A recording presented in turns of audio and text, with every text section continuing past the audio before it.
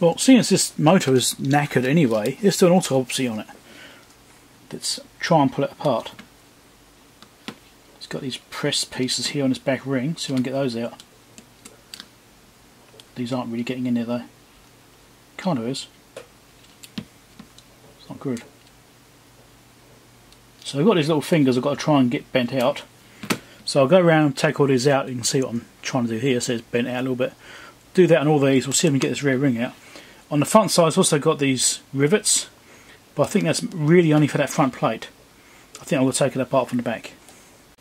Alright, so I've basically tried to push all of these out. We'll see if we can get any progress of actually getting to move. It's wanting to come out. I'm not too worried about destructively opening this up because it, it is definitely knackered. I mean, if I can fix it, it'd be great, but I don't think I'm going to be seeing that kind of thing happening. I'd be really surprised if it's possible to fix it. I highly doubt it will be. Okay, here's the rear cover. There's some washers, just fell out, little spacers. Some spring tensioners.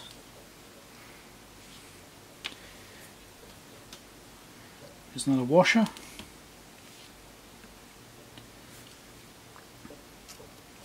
So there is the main piece there, which is not sitting too well. I actually think it's detached. I need to get this pinion off here somehow. That's not going to be easy. But basically what I've got here is it's just... I actually think the magnet on the outside of that is detached and that's why it's doing that. Hmm, this one gets apart further. Okay, I managed to get the pinion off. Let's try and get the bush out now, or the whole motor assembly out. Let's try and slide it out. Magnets are obviously fighting me though. It's good support. There we go. There's another spacer, the washer, and that's the actual assembly there.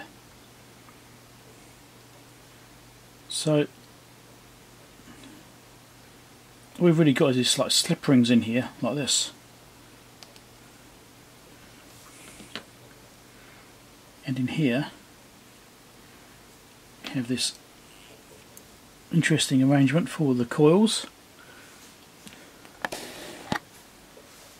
See those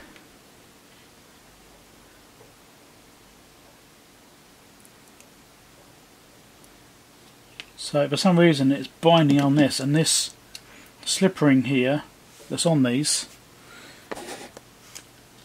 So for some reason these rings on here this one here was turning.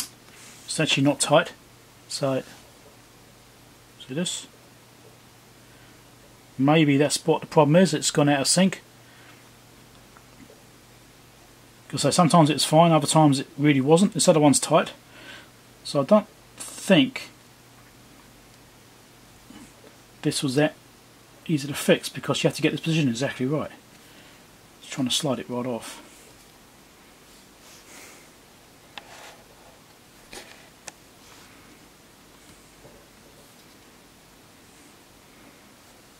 Anyway, prise it, not with that one.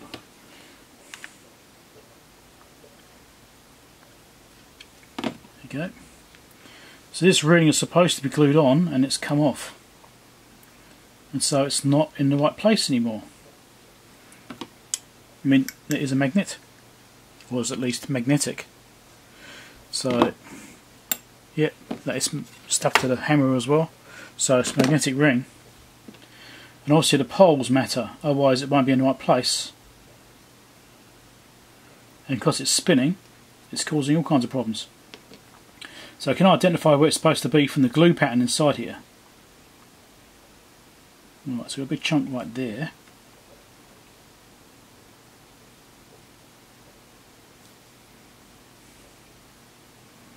I think it's supposed to be there, like that.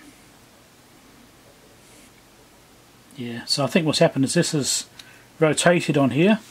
It's come loose, rotated, gone out of phase with the motor, which then made it bind up more. So let's put this back in, like that.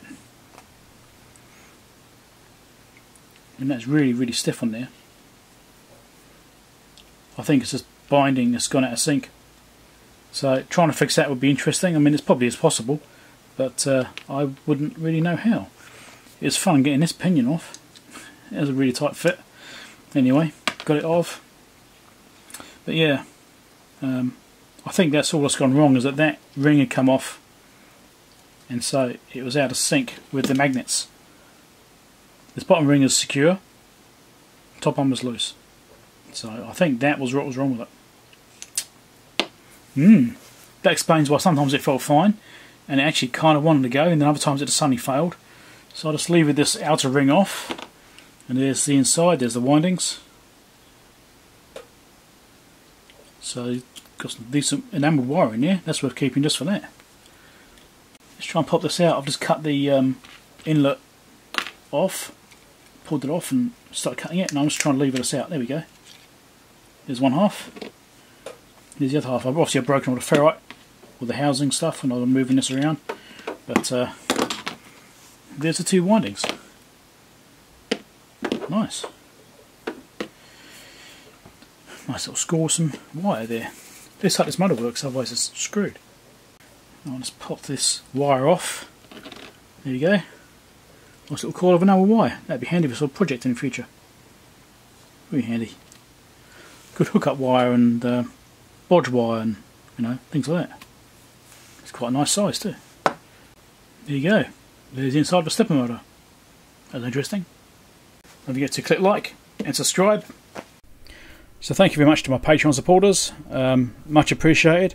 If you're interested in supporting me to help me buy items for mailbag or projects to work on, you know, bits of test equipment to repair, that kind of thing, any money goes goes towards that is helpful because it is expensive buying test equipment to do repairs on, especially if I'm not actually going to be using it that much or it's something I could do without. Or, you know, as in most cases, you can do without things. So having a Patreon supporters and people that donate to me via PayPal is, is very helpful.